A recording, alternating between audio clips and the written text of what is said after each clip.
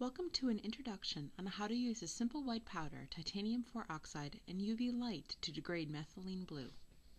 Everyone meet Mohi. Hi Mohi. He's going to be the student who will help us run our reaction today. Let's get started. Wait a second. Hold on Mohi. Aren't you forgetting something? Aren't you going to need some personal protective equipment? It's much better. Okay, now we can get started. First thing we want to do is measure out some of our white powder, titanium 4 oxide. We don't need much to run this reaction. Typically, all you need is 10 milligrams. That's it, it's not much. Now we're going to take that 10 milligrams and pour it into a 150 milliliter beaker. Beaker simple, nice and clean. All you have is a stir bar on the bottom. Now on top of that, you're going to add 90 milliliters of water and add it nice and slow and make sure it doesn't splash up.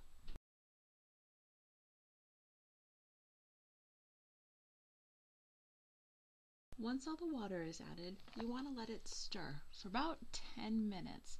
This is going to let all of those tiny particles mix in evenly with the water. Fantastic. Now we're ready to add the methylene blue. In that pipette is methylene blue. See how rich and dark that color is?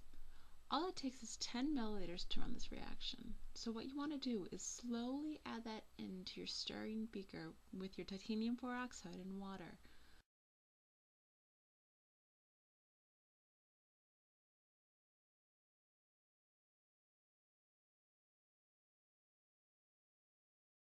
Once the mixture is added, what you want to do is take a 3 milliliter sample We'll later use this for analysis, but for right now, once we take the sample, what we're just going to do is set it aside. Our first priority right now is to get this reaction started.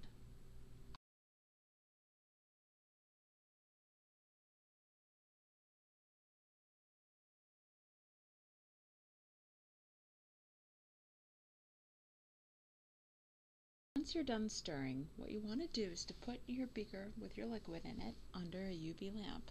Show us the lamp, Mohi. Yes, isn't that a beautiful piece of equipment? As Mohi's showing it off, what he's doing is placing it under the most intense part of the lamp and putting it on top of a stir plate. You want this reaction to be constantly stirring the entire time. Good job, Mohi. Now we're going to go back to that 3 milliliter sample that we took earlier. But before we do anything, we want to make sure that we put a syringe filter on the tip. What that's going to do is it's going to trap any of the fine TiO2 particles from going into our cuvette. The last thing we want is for any solid matter to be in our sample holder.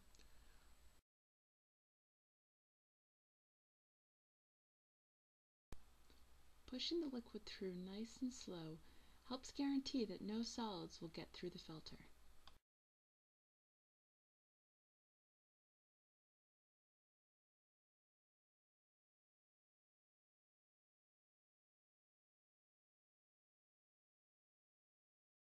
Once we've filled the cuvette, it needs to go over to the UV vis, as apparently Mohi's very excited to use. So what he's going to do is open up the cover and put it in the instrument. Don't forget, first thing you want to do before you put it in though, is to wipe all the edges with a Kim wipe. You want to make sure you don't have any fingerprints or any extra liquid on the outside that might screw up our measurement. What this is going to do is allow us to see the absorption spectrum for our sample. We want to see how intense the peak is. As you can see, our maximum peak shows up at a wavelength of approximately 660 nanometers. That's our methylene blue peak.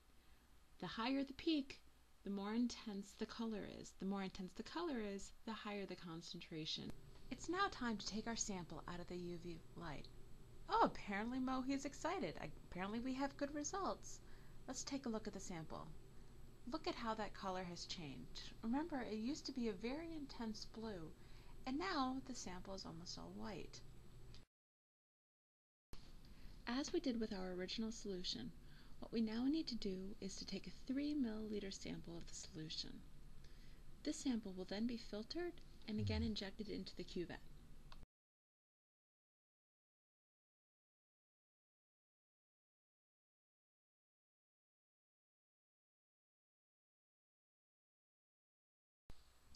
Do you remember how our original sample was a deep, rich blue?